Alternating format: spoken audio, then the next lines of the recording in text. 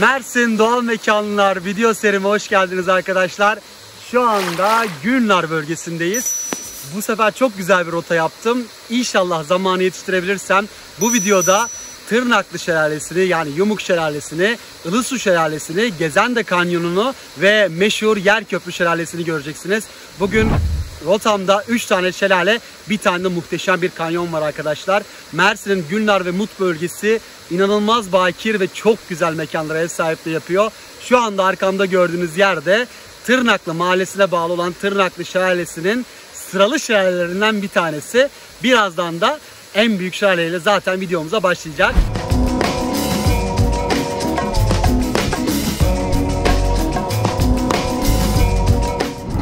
Şimdi büyük şelaleyi bulduk arkadaşlar. İşte Yumuk dediğimiz şelaleyi bulduk ama şu anda görüyorsunuz çok sıkıntılı bir yolu var. Yani buraya zaten çocukla falan gelmeyi unutun. Yavaş yavaş inmeniz lazım. Şimdi buradan sonra ben kapatacağım. Çünkü bu yola tutunarak inmem lazım. Ve muhteşem bir şelaleye geldik arkadaşlar. Biliyorsunuz ben şelale konusunda çok hassas biriyim. Şu gördüğünüz yer Yumuk Şelalesi. Yumuk ağızda işte şu kayaların yamuk olmasından geliyor. Aslında burası sıralı bir şelale değil. Bundan sonra size ufak ufak şelaleleri göstereceğim. İnanılmaz kötü bir yolu var. Bakın yani geldiği yerde burası. Şuradan yürüyerek de şelalenin alt kısmına gelebiliyorsunuz. Wow, gerçekten mükemmel ya.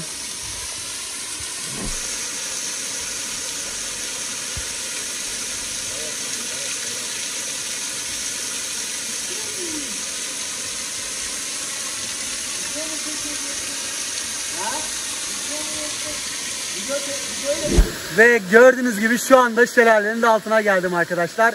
Gerçekten inanılmaz bir doğa.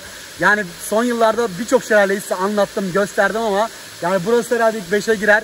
Diyarbakır Şeyhande'de şelalesinden sonra gördüğüm en güzel şelale diyebilirim. Daha turumuz devam edecek. Bugün birkaç tane daha şelaleyi size göstereceğim ama şimdiden daha sabahın ilk saatlerine geldiğimiz bu şelale harikaydı. Çok beğendik. Çok zor bir yolu var. Gerçekten çok zor. Tabela falan yok ama az önce köyün muhtarını gördük. Ona sorduk. O da dedi ki 5 tane tabela yaptırdım. Hepsini tek tek yola döşeyeceğim ve daha rahat geleceksiniz. Sadece yol çok kötü. Arabanıza güvenmiyorsanız gelmeyin. İndikten sonra sizi ilk bu arkamda gördüğünüz uzun şelale karşılıyor. Sonrasında da birkaç tane böyle bunun kısaları var ama en büyüğü bu. Bundan daha büyük böyle girebileceğiniz bir şelale yok açıkçası. Diğerleri çok küçük gerçekten. Şimdi buradan sonra diğer mekanlara devam edeceğiz.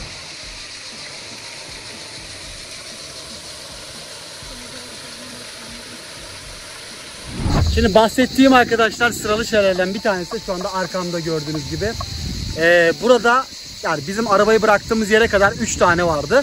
Ondan sonraki hemen böyle bir küçük bir stabilize bir yol daha var. Sonra o yukarı doğru çıkıyor. Oradan sonrasına çıkmanıza hiç gerek yok. Suyu biriktirdikleri bir set var.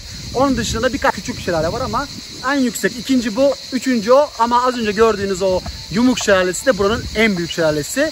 Ee, burayı da göstermeden yol devam etmek istemedim. Ondan sonra artık diğer Ilısu şelalesine doğru yolunuza devam edebilirsiniz.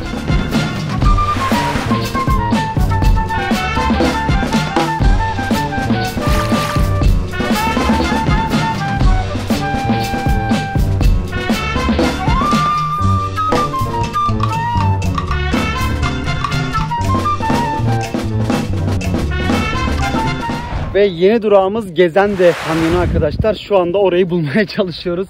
Ya maalesef gerçekten Mersin'de ciddi bir tanıtım problemi var. Diğer yerlerde de aynı sorun vardı. Şu anda yani bir, bir şekilde konumlardan bulduk geldik. Hatta ben Instagram'dan da konum koyacağım. Instagram hesabıma Reşondu ve konum koyacağım. Oradan bakın. Şu anda buradan e, aşağıdaki kanyona doğru devam edeceğiz. Artık bulursak devam ederiz göstermeye.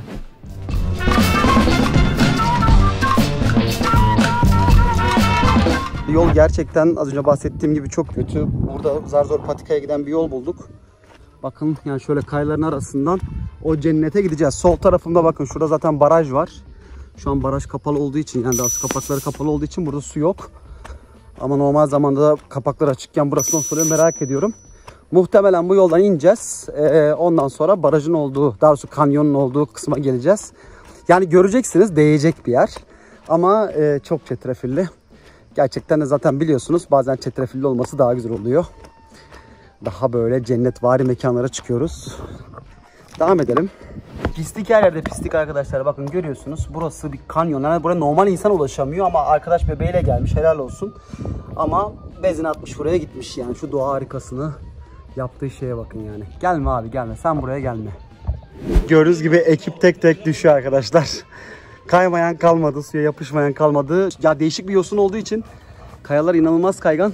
Şuraya ulaşmaya çalışıyoruz. O bahsettiğimiz derin yer orası yüzülecek yer. Ama yani inşallah başka yol vardır ve biz yanlış gelmişizdir. Çünkü dönüş yolu gerçekten zor olacak. Bakalım babam da şu an onu soruyor. Dönüş nasıl yapacağız diye.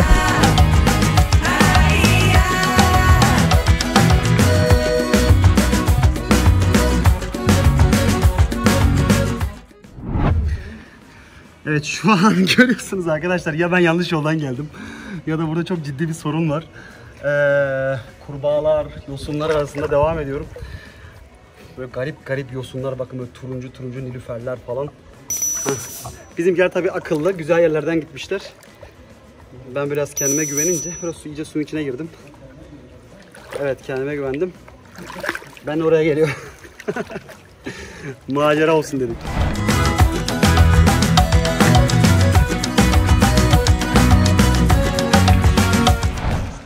Geldik arkadaşlar. Sonunda vardık Gezende Kanyonu'na. Burası Mersin'deki en güzel kanyonlardan bir tanesi. Tamamen el değmemiş öyle söyleyeyim. Zaten gelmek çok zor. Hiçbir tabela yok. Emin olabilirsiniz. Haritadaki birçok konum yanlış gösteriyor. Ee, o yüzden Instagram hesabımda önce bahsettiğim gibi konumdan buraya bir bulabilirsiniz. Ya da yani iyice bir soruşturun, köylülere falan sorun. Çünkü barajın kapaklarına kadar geliyorsunuz. Arkadan iki tane patika yol var. İkincisinden çok zorlu bir kaya inişinden sonra buraya varıyorsunuz. Zaten bir süre sonra artık suyun içinde yürümeniz gerekiyor ve yer yer bakın görüyorsunuz tişört hizasından anlıyorsunuz. Çok derine kadar inmeniz gerekiyor. O yüzden su geçirmez çantanızı getirmeniz de çok önemli. Şimdilik bu kadar. Ee, artık çok terledik ve biraz suyun keyfini çıkaracağız. İnşallah zamanınız yeterse de diğer kanyonlara doğru devam edeceğiz.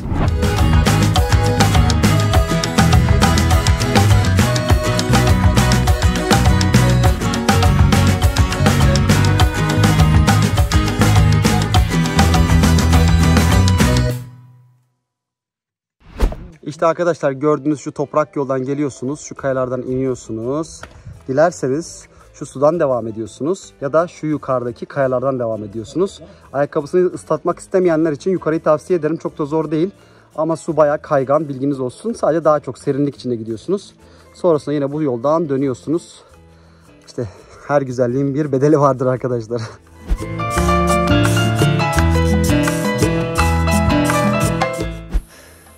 Görmeniz gereken bir diğer mekanda arkadaşlar Gezende Barajı. Zaten Gezende Kanyonu'nun altında ya da buraya gelirken o gördüğünüz muhteşem mavi bu baraj suyunu gösteriyor arkadaşlar. Şu anda gerçekten e, renklerle oynamadım. Görüyorsunuz inanılmaz güzel bir renk var. Masmavi bir renk var. Zaten böyle o tam o dağlarda inerken bir anda o zümrüt yeşili turkuaz mavisi karışımı bir renk ortaya çıkıyor.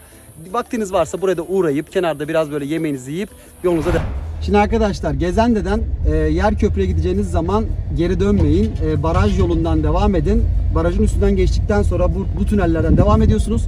10 kilometre stabilize yoldan sonra Mut Ermenek yoluna çıkıyorsunuz. Sonra 30 kilometre sonra da artık yer köprü sapağına geliyorsunuz.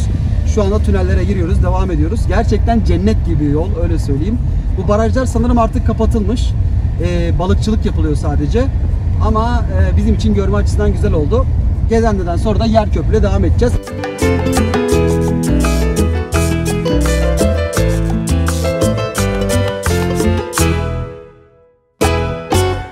Ve bir sonraki doğa rotamız arkadaşlar Yerköprü Şelalesi. Son zamanların en meşhur şelalesi biliyorsunuz ki burası. Öncelikle yine yoldan bahsedeceğim.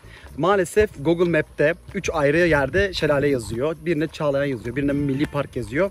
Ama siz Evren köyü yazın. Evren köyünde diğer tarafa doğru yani Mut'a doğru giderken bir kilometre sonra zaten tabelayı göreceksiniz. Yaklaşık 10 kilometre gittikten sonra buraya geliyorsunuz. Şu anda da zaten yol üzerinden biz inişe başladık. Aşağıda görüşürüz tekrar.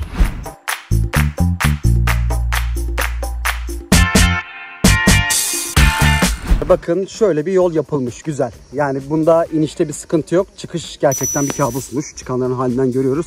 O yüzden akşam saatlerine gelmek daha mantıklı.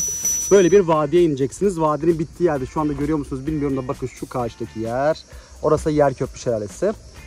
Şimdi rotamız devam ediyor. Artık sonuncu doğal güzelliğimiz de burası olacak.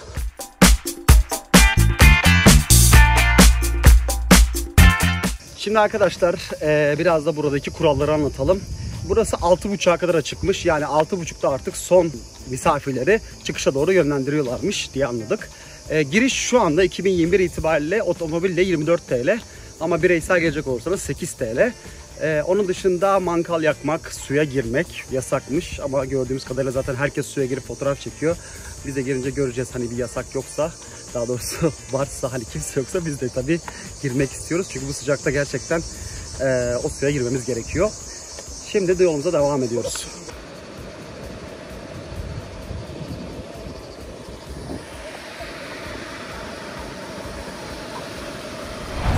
Ve final arkadaşlar şu anda Yerköprü Şelalesi'nin ilk gözlem terasına geldik. Bir tane de aşağıda var oraya da geçeceğim birazdan. Burada suya girmek yasak tabii ki. Ama arkada bir tane küçük havuz varmış orayı bir deneyeceğim birazdan. E, yaklaşık 25 metreden bu su aşağı akıyor. Şu anda bu şelale Türkiye'de son yıllardaki en ünlü şelale. E, inanılmaz bir insan akını var. Yaklaşık yarım saate yakın bir yolculukla buraya geliyorsunuz ama çıkış daha zor. Bayağı bir yokuş vardı. Valla yorulduk bayağı. Artık günün sonundayız. Üçüncü şelalemizdeyiz. Kanyon da bizi bayağı yormuştu ama şu anda artık dinleneceğiz. Sonrasında devam edeceğiz yolumuza. Çeşmeler var birkaç tane. Su ihtiyacınızı giderebilirsiniz ama onun dışında herhangi bir kafe ya da restoran hiçbir şey yok. Anlatacaklarım bu kadar. Biraz artık keyfini çıkaracağız. Aşağıda bir daha görüşürüz.